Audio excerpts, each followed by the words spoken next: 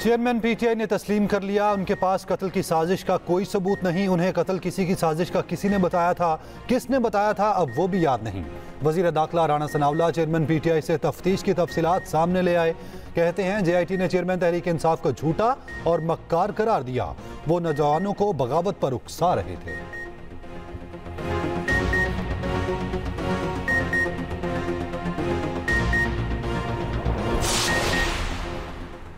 अगस्त में आइनी मुद्दत खत्म होने के बाद विफाक में निगरान सेटअप आ जाएगा। वज़ीर इतलात मरियम औरंगज़ेब ने वाजे कर दिया। लाहौर प्रेस क्लब में गुफ्तु के दौरान वज़ीर इतलात ने कहा, आम इंतबात में नून लीग के इंतबी इतिहाद का फैसला वक्त आने पर किया जाएगा।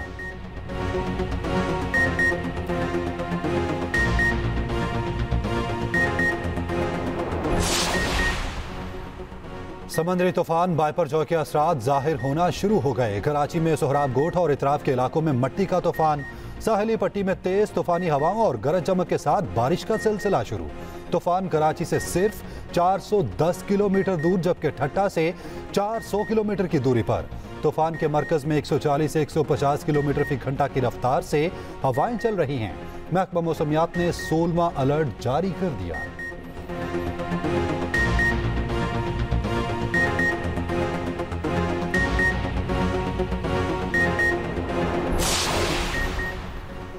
साहली इलाकों से लोगों को महफूज मकाम पर पहुँचाने का काम जारी। केटी बंदर शहर को मुकम्मल तौर पर खाली करा लिया गया। पाक बहरिया भी मुतहरिक पाक फौज और रेंजर्स के जवान भी शहरियों को महफूज मकाम पर मुंतकिल करने में मसरूफ। DG ranger Singh, major general Azhar Waqas का, शाहबंदर, सजावल, ठट्ठा और बदीन की साहली पट्टी का दौरा। वज़ीर अला सिंध मुराद अली शाह कहते हैं, ठट्ठा, बदीन और सजावल अजला से लोगों को मुंतकिल किया जा रहा है।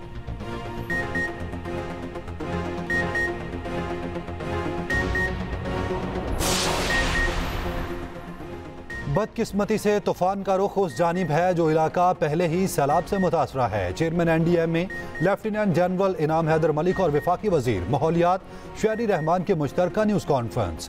हुकूमत की तरफ़ से एमरजेंसी हेल्पलाइन नंबर जारी कर दिए गए। Chairman N D M A ने कहा, तूफ़ान पंद्रह जून को केटी बंदर के इलाकों से टकराएगा। विफाकी वज़ीर शहरी रहमान ने कहा, कराची में भी हंगामी हालात हैं।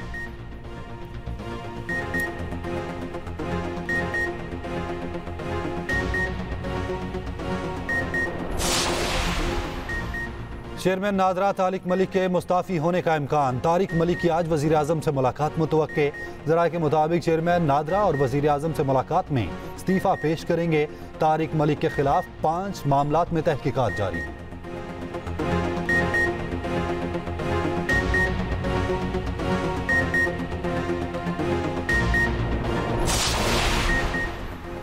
सुप्रीम कोर्ट में जजमेंट रिव्यू एक्ट फौरी मुअत्तल करने की इस्तः मुस्तरद। दौरान समाज चीफ जस्टिस उमर अता बंदयाल ने रिमार्क्स दिए। आपको नहीं लगता? ये मामला जल्दबाजी के बजाय तहमुल से देखे जाएँ।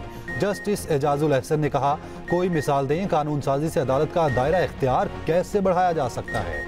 मजीद समात कल तक मुलतवी।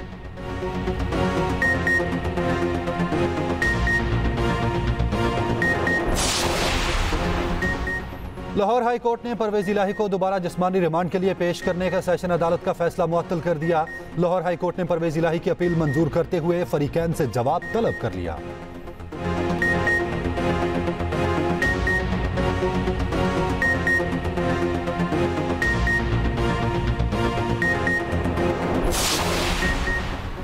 वज़ीर ममलिकत पेट्रोलियम ने पेट्रोलियम मसनूआत की कीमतों में बड़ी कमी का इंदिया दे दिया। इस्लामाबाद में न्यूज़ कॉन्फ्रेंस के दौरान मुसद्दिक मलिक ने कहा आजरबाईजान हर माह पाकिस्तान को सस्ती एल एन जी का एक कार्गो फराहम करेगा। यूरोपीय ममालिक को दावत दी है कि वो पाकिस्तान में एल एन जी के कारखाने लगाएँ।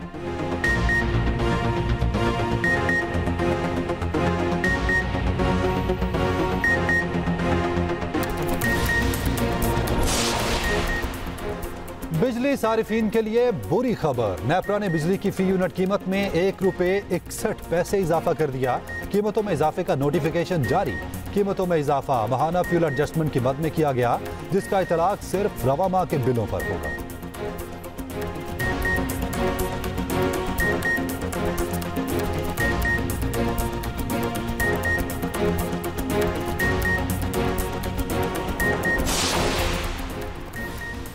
पंजाब, केपी और आज़ाद कश्मीर में जलजिले के झटके इस्लामाबाद, लाहौर, शेखुपुरा गुजरावाला पिशावर, मानसहरा अब्टाबाद बाग, कोटली, रावलाकोट समेत कई शहर लर्ज उठे।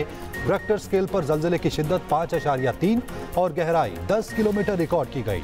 जलजिले के झटके महसूस करते ही लोग खौफजदा होकर घरों और दफातर से बाहर निकल आए।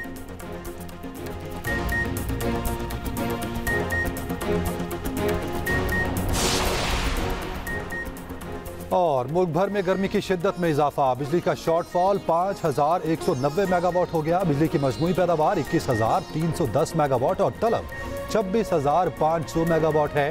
बिजली के शॉर्टफॉल की वजह से मुख्तलिफ़ इलाकों में लोड शेडिंग का दौरानिया आठ घंटे तक जा पहुँचा।